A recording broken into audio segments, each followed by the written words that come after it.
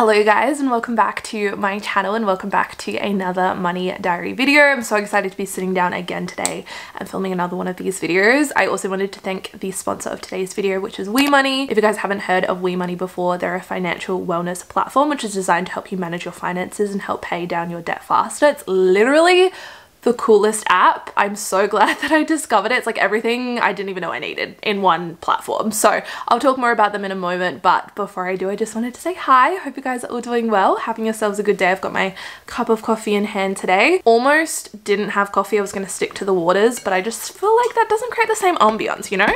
I need to set the mood, the tone. I just feel like drinking water from my little sippy straw is kind of giving two-year-old energy and that's just not what we're here for. So I've taken one for the team made my third cup of coffee for the day, which may or may not just be the thing that pushes me over the edge. This is probably my tipping point, but by all means, don't let me influence you, whatever your beverage of choice is, tea, coffee, wine even. Um, yeah, we're just gonna be sitting down today and talking about all things money, which is my favorite. Uh, as always, this is not financial advice in any way, shape or form. Never has been, probably never will be. This is just me simply sharing my financial journey and just trying to create more of a conversation and be more transparent about personal finances, especially for young women. So um, if you're new here, hi, welcome. My name is Ella. I am 25 years old and I work as an accounts receivable officer here in Adelaide. So I do a lot of vlogs, working in nine to five jobs, some lifestyle content, as well as some money and budgeting videos. If you guys into that, definitely consider subscribing and follow me over on my Instagram as well. It's a good time over there, if I do say so myself. not to toot my own horn or anything. And yeah, I thought we are over halfway through July, which is crazy. I thought now is a good time to kind of check in on our budget, see how we're going with that. Also talk through some of the things I spoke about in my last money diary video, which I just wanted to start by saying thank you guys so insanely much for all the love on that video. That was the first money diary video that I posted inspired by Zoe and Carter here on YouTube and I was a little bit hesitant about posting it especially that video I was just it was like basically a therapy session. I was just chewing your ear off for like 20 to 30 minutes about how I've been feeling with our finances and just kind of going through the motions but not really having any direction. After uploading that video and reading through the comments and messages I got from you guys, I just came away feeling so insanely inspired, so motivated. Even if some of the advice wasn't exactly applicable to our situation or our journey, um, it was just really cool to hear about all of your different ideas and experiences. So it's just so cool. Like money is such a big part of all of our lives to create such a supportive community. I just think it's the coolest thing. So just wanted to say that. Thank you for all the love. If there's anything in particular in these little money chat videos that you want me to discuss, feel free to leave a comment down below. But today I thought I would, yeah, just kind of check in and see how we're going this month. Briefly talk about our new savings goals. I'm not going to go too into detail because I did go quite in depth in my recent budget with me video for July. I'll have that link down below in case you missed it. And then I also wanted to touch on sharing finances because that's been a big topic and it's probably one of the biggest things that I get questions about when it comes to money is how we navigate sharing money. Um, so I'm going to be talking through our experience with that as well and just like sharing any little tidbits of advice. I guess I'll start by talking through our new savings goals. As I said, I'm not going to go too into detail because I don't want to repeat myself, but especially coming off the back of the wedding and then settling on our house, we had a couple of months where we were just kind of going the flow, which I think we really needed because I think we were a little bit burnt out financially, but it kind of got to a point last month where I was just craving some kind of direction. And yeah, a month later, we have a lot better of an understanding of kind of where we want to go, the direction we want to take. We really just sat down, Nick and I, and just kind of talked through our personal goals and kind of what we want to achieve in the next couple years and then figured out how that related to our financial goals. So first short to medium term goal is to save for a dog. I don't even need to go into detail. I've talked about this a lot. We just can't wait to get a dog when we get our new house. It's like our number one priority. House dog. That's just, it's something that we talked about for the longest time and we just can't wait to be dog parents, to be quite honest. So it's not something that everyone will understand. I know some people think animals are such a waste of money, which I don't personally understand because I think they bring you so much joy in so many other ways. But obviously it is a big financial responsibility. So we want to make sure that we're prepared for that. Second goal is to save for a new car. We'd really like to do that in the next like six to 12 months. Our car at the moment is a, I don't even know what it is, 2006 2006, maybe 2007 Subaru Outback. It's getting kind of old and we're at the point where, yeah, we would like to get a new car. I think we will buy a new one rather than secondhand, just with the way the market is right now. If you'd asked us three years ago, we would have definitely bought a secondhand car, but yeah, just with the market, secondhand cars are expensive. So it just makes sense to pay that a little bit more and get a brand new one. That's our next savings goal. At this point, we're not sure whether or not we will go down the finance route, which I know some people are not going to agree with. Some people have very strong opinions when it comes to financing and taking out car loans. Um, look, we're keeping an open mind, just exploring our options. If we did end up financing and going down that route, Obviously we do our due diligence, make sure that it's a loan that makes sense for us, a relatively low interest rate and something that doesn't have like crazy admin fees, sign up fees or early exit fees as well. So if we want to pay the loan off faster, which is the plan, we're not penalized for it. Penalized? Penalized? Penalized. Updates to come on that, but uh, hopefully that'll be in the next few months or so. A new car on the horizon to, to look at. And then our other goal is more of an ongoing one. I think this will always be a priority for us, but we want to save for a holiday. Yeah, we both love traveling. And so I want to start putting, you know, a little bit of extra money aside for a weekend trip if we feel like going away somewhere or I don't know, if something comes up and we're like, oh, let's jet off to Bali for a week. Like we just want that kind of spare money there for when we can travel. We're not going to do a big overseas trip, I don't think, in the next 12 months. So this is why a holiday and prioritizing that is a little bit more on the back burner. Like it's still something we want to do. We still want to do some kind of traveling this year, but yeah, a big overseas trip is just not really in the cards for us. We sat down and really talked it out and just with me starting a new job, I don't have a lot of annual leave built up and Nick is also going back to uni for the next six months. Not uni, what's it called? GDLP, I don't know, something like that. So he can be admitted as a lawyer. Um, so he'll be busy with that and just with work and everything else. Our house will also be ready in the next six months or so, which is super exciting. And as I already mentioned, we want to get a dog shortly after we move into our new house. So probably not fair to get a new dog and then just be like, oh, see you later. I'm off to Europe for three months. Like, yeah, it's just not, not really gonna happen. Still wanna do some kind of holiday though. Uh, if you have any recommendations, let me know. Now, in terms of our longer term financial goals, our main focus right now is to try and pay down our mortgage as quickly as we can. That's like our top priority. Um, this may change in the future, but as of right now, that is our main focus, which I feel like is where the WeMoney app really comes into play when I tell you guys this is an absolute game changer. I don't know about you guys, but when we took out our mortgage, we took it out with a different bank to who we normally bank with. I feel like that's pretty common. So when it comes time to do like our monthly budget or just even just tracking our expenses, I am constantly changing back and forth between multiple different apps being like, where is our money? With the WeMoney app, you can link all of your different accounts so you can see everything in one place and get a really good holistic view of your finances super cool. If you're worried about security, because I know that's something I'm really paranoid about, I am just like super cautious when it comes to online stuff. The WeMoney app does have bank grade security and read-only access. So just to put your mind at ease, they just have some really cool features. You can track your expenses, budget, track your goals. You can set little reminders for your payday or if you have a bill coming up a loan payment to make so you can stay on top of your credit score, keep it looking good. Speaking of credit score, you can see your credit score at a glance as well, which is something I've never really paid much attention to, but super cool to see. Very nice. One of my favorite features though is the debt tracker. So with this, I can see exactly how much we have already paid off of our mortgage so far. Our home loan is split at the moment, so we have a fixed rate for our land, which we settled on, and then we have our construction loan, which we're still drawing down from and that's a variable loan. So at the moment we're trying to tackle the variable obviously but because it was split it was again I was having to check back and forth between the different accounts and trying to calculate. They never make it easy like never make it easy.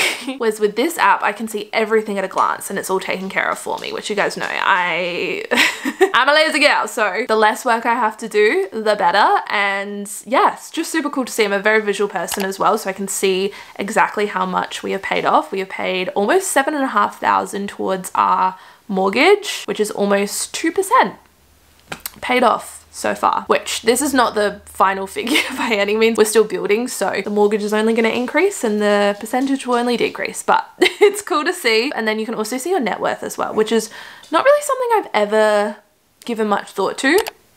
Probably should, to be honest, um, especially as a new homeowner. I feel like that's something I should know, like what's my net worth? Seeing our net worth, like as a whole, all of our assets minus our liabilities, that's just like motivation within itself. I don't know about you, but I'm gonna set some net worth goals. Anyway, if you guys haven't already checked out WeMoney, definitely recommend. You can download them from the App Store for free. I'll have a link down below. Make sure you go check them out. Definitely not the last you'll hear me talk about them, that's for sure. But yeah, that's kind of where we're at in terms of our mortgage payments.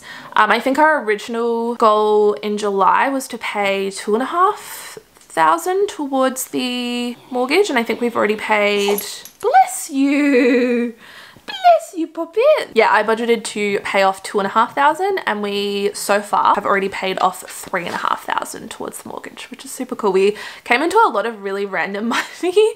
My abundance mindset is clearly working for me. We got our tax return, which I should have known because it is tax time, but I completely forgot to budget for that um, and include that in my July budget. But we got our tax return back very quickly as well. Love that. Thanks ATO. And we got back just over 2000 between us both, um, which was pretty good considering I owed quite a bit for tax. So that money we've just put into our savings at the moment.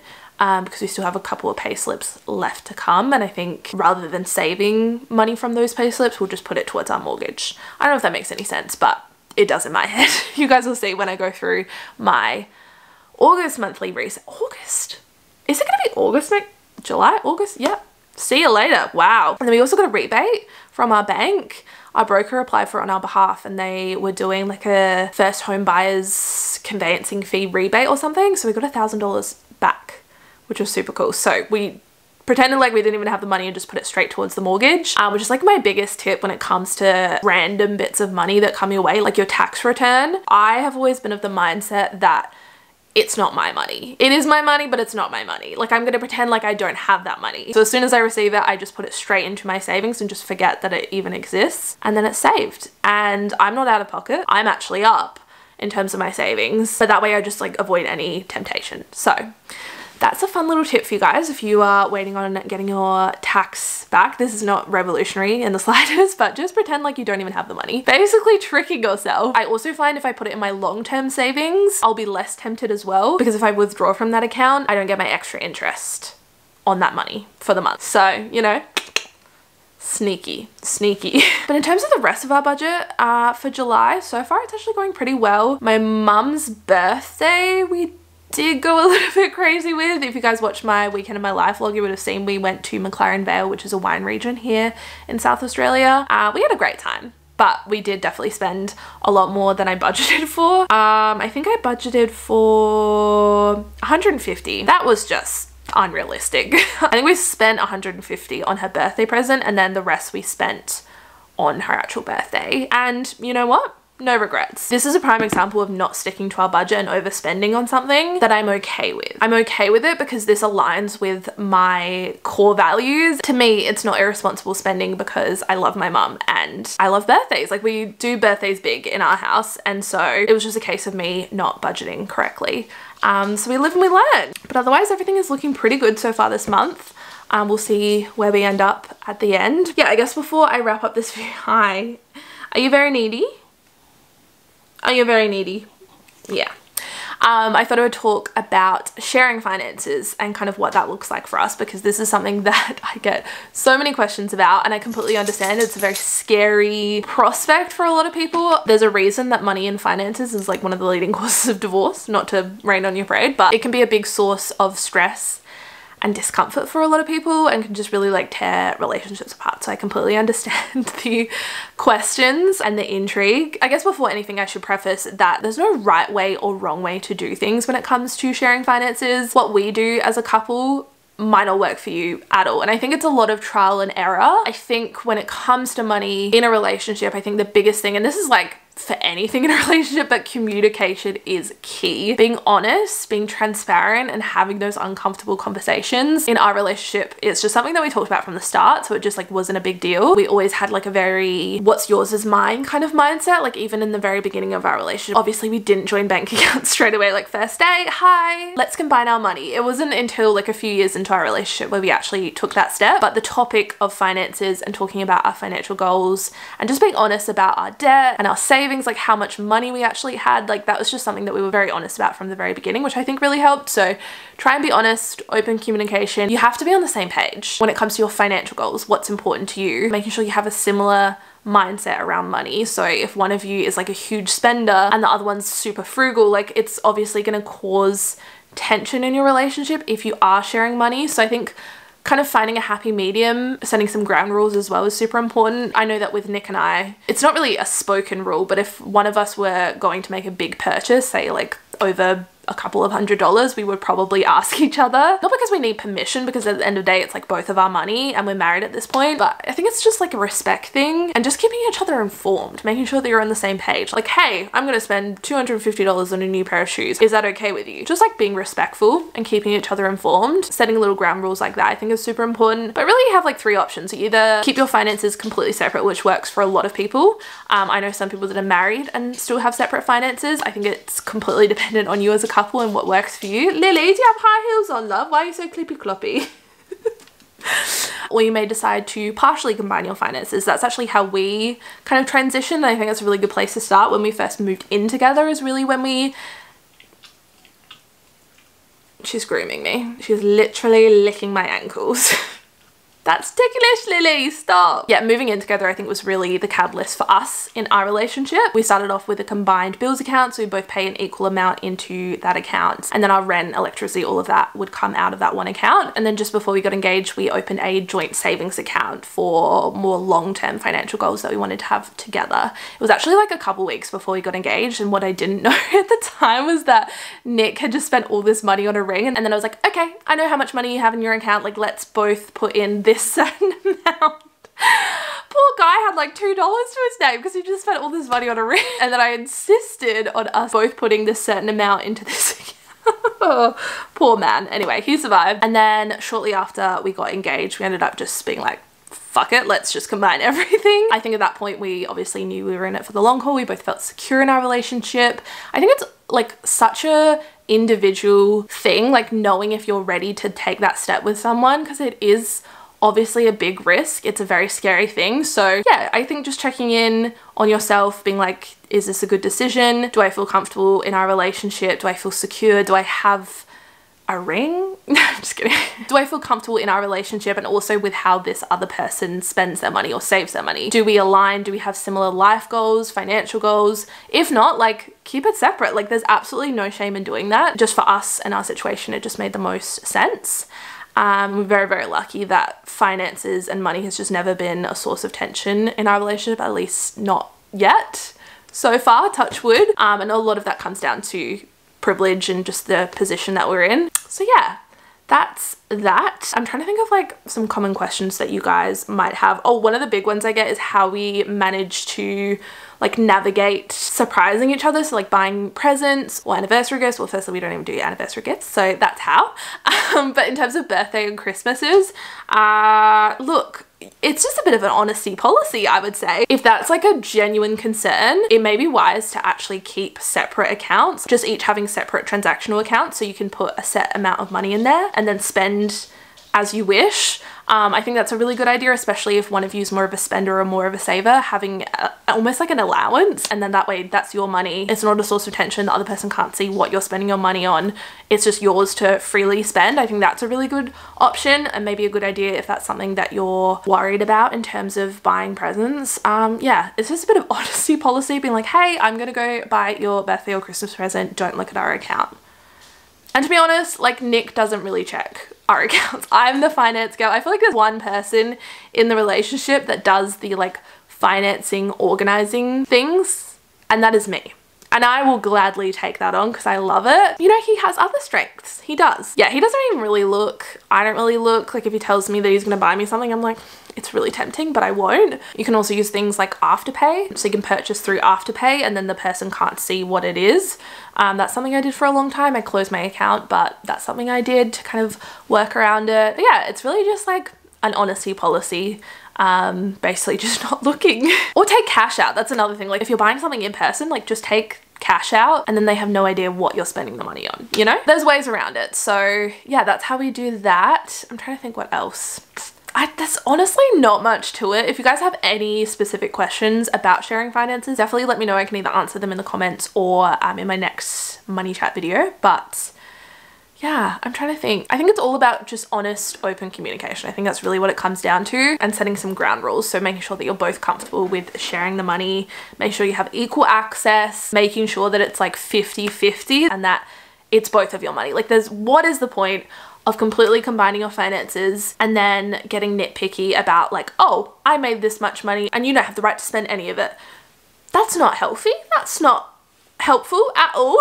if that is something that will potentially come up in your relationship, like keep it separate. There's definitely pros and cons no matter what way you do it. Um, I know that for us, since combining our money, I feel a lot closer in our relationship. Just like having that trust and having that respect and just knowing that like what's his is mine and having really honest and motivating conversations about our money goals and kind of what we want our future to look like and working on them together. When two people are working at it together, like you can make a lot more progress. So that's why I love sharing our finances, but I completely understand it's not for everyone. So yeah, just do what works for you. Don't feel pressured. Even if you're married, engaged, whatever, you're living together, you've been together 10 years and you feel a sense of pressure to take that next step and like combine your finances. Like if that's not what you you want to do, don't do it. I think I probably set it up. I feel like this is a super chatty video. But if you guys have any specific questions or any topics that you want me to discuss in future Money Diary videos, definitely let me know. Also, thank you again to WeMoney for sponsoring this video. Make sure you go check them out. Download the app. It's free on the App Store. And yeah, I love you guys so much. Thank you so much for watching this video. I would love to know what you guys are working towards financially at the moment. Leave a comment down below. Give this video a thumbs up as well. It really helps my channel out and subscribe if you're not already. I love you guys very, very much and I'll see you super soon for another video. Bye guys.